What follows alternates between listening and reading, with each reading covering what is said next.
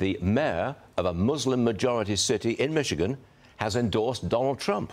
Mm-hmm. Lauren, why is this guy backing Trump? So it's the Hamtramck mayor, Ameer Ghalib, and he says Trump is, I'm quoting, the right choice for this critical time, and then he called Trump a man of principles. So they met last week. Hamtramck is a suburb of De- Detroit, predominantly Muslim. They even have this mile long uh, street there called Palestine Avenue.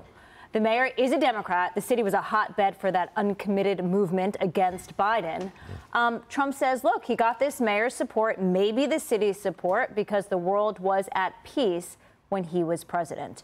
And guess what? He returns to Michigan for the 11th time on Friday, the day after their absentee ballots become available. So even in the swing states, this rich one of 15 electoral votes, people are starting to already vote this week.